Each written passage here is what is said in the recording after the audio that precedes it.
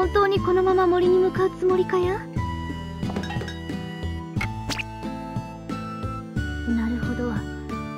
主はその気なのかや？じゃがそれは主との旅が終わるという意味になりず。それを。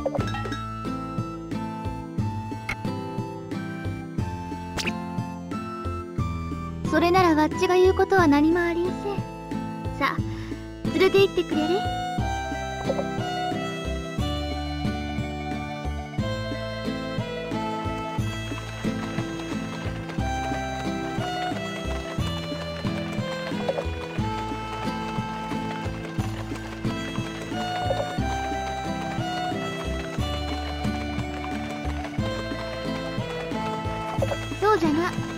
ちゃ風のように速い。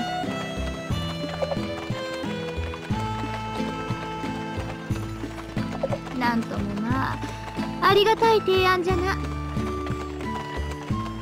主の気持ちに涙が出そうになり。たわけ。主はそんなに早くわちと別れたいのかや？それが主の本心かや？いや主は商人であった。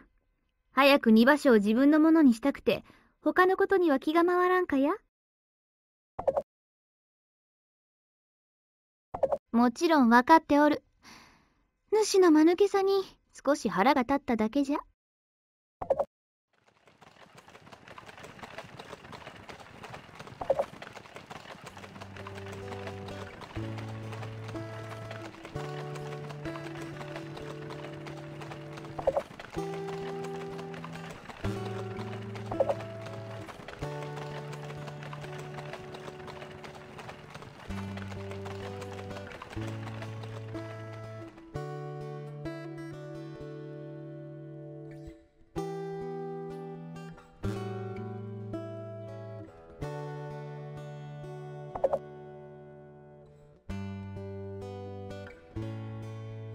それは心配ありんせ。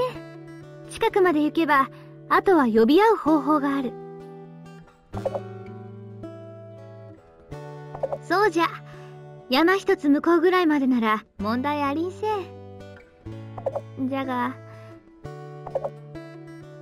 いくら呼びかけても答えが返ってこなかったらと思うと、恐ろしい。本当にワッチの仲間は、この先におるんじゃろうか。もしここにもいなかったらわっちはどうすればいいのかや？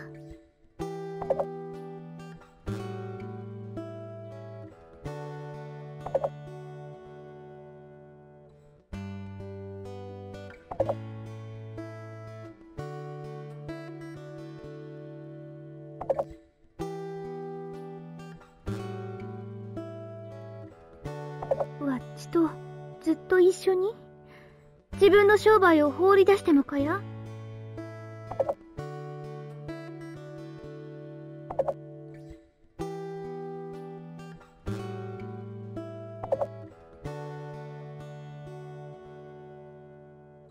くふ。主は本当にまっすぐじゃな？若いオスはすぐにのめり込むからの。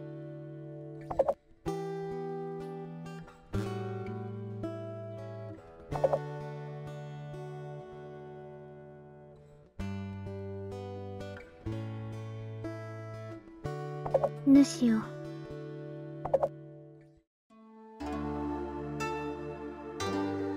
冷静でなどありんせん。あっ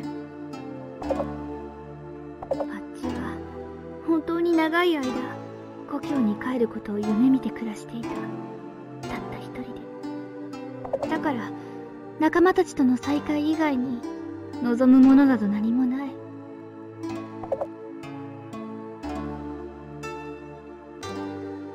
望むものなど何もない。はずじゃったのにな。マッチは心のどこかで仲間に会えない方がいいのではないかなどと思ってしまう。さっきのような言葉を主の口から聞かされたらなわっちは堅牢ホロじゃ。誰よりも賢く強い狼じゃ。それなのに自分の気持ちさえままならんとはな。まったくたわけもいいところじゃ。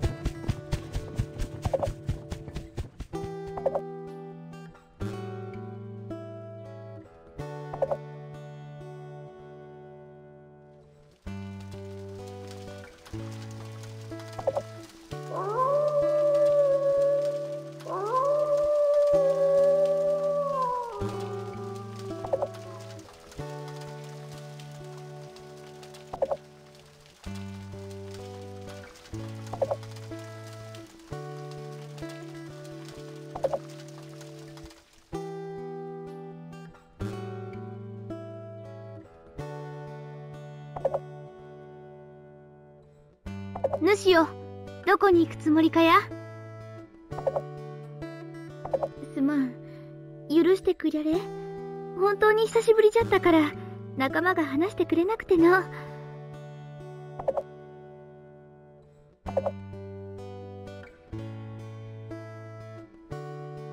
そういうわけにはいかん。まだ主にちゃんと礼を言ってなかった。主のおかげでわっちは故郷にたどり着いた。感謝しておる。主のことは決して忘れん。未来永劫わっちの恩人として語り継いでゆくつもりじゃ。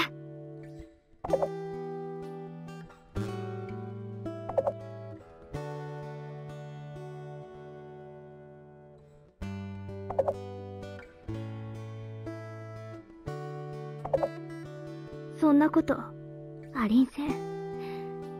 主のことなどどう思っているわけでもない。だからここで別れようがバッチは困りんせ。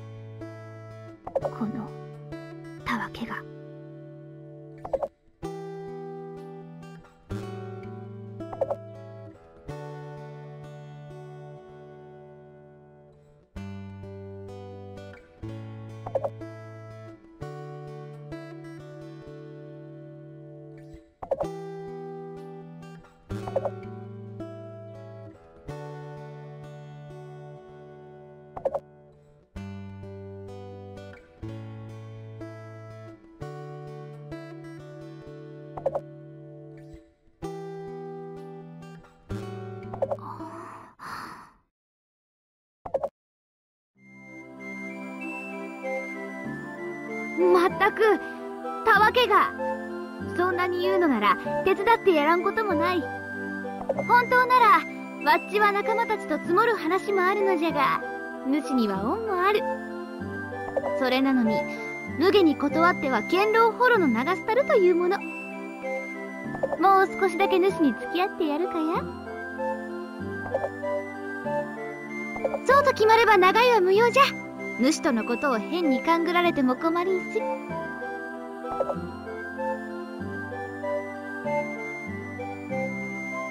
構わぬ。もう伝えておいた。どうせ主が言い出すじゃろうと思っておったからな。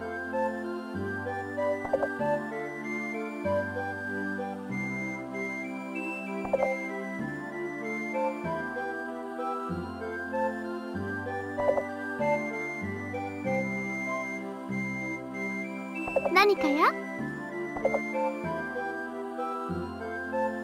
む。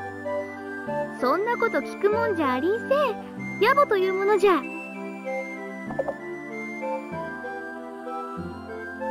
聞かなくても分かっておるじゃろ。好きなように想像してくれれ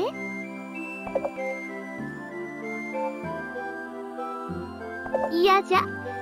わっちゃ恥ずかしい。そんなこと言えぬ。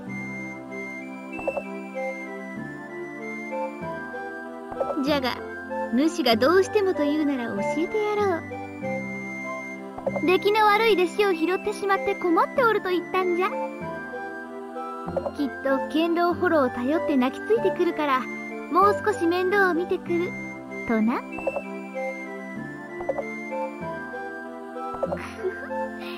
主もな。町に戻ったら授業料として何かうまいものでも食べさせてくりゃれ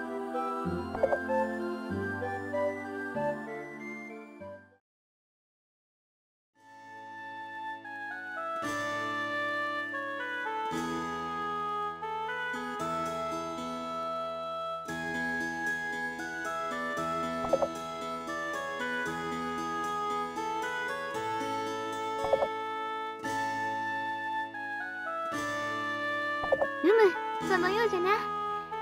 少し馬の様子でも見てきたらどうかや。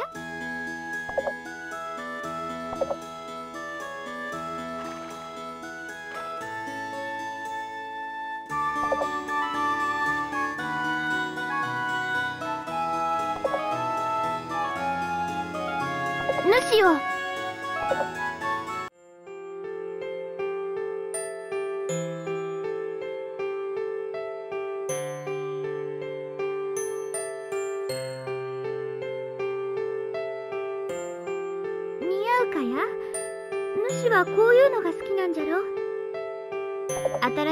袖にはそれにふさわしい格好がある。わっちゃそう思いんせ。くそれだけかや？せっかく人の儀式に付き合ってやったんじゃがな。何やら忘れておらんかや？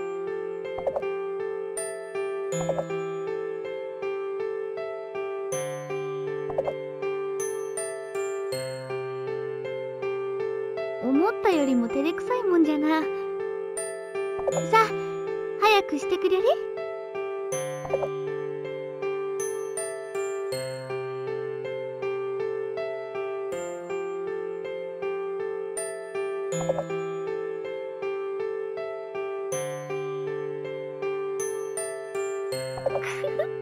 かや。よーく覚えておくからの。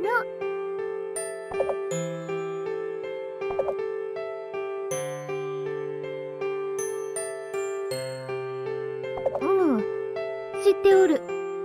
じゃがそこまで人の儀式に付き合うつもりはありんそうかや？主はそんなわっちが好きなんじゃろ？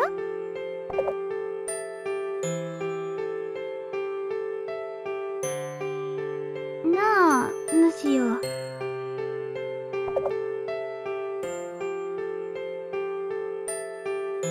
後でわっちの尻尾の毛づくろいをしてくりゃ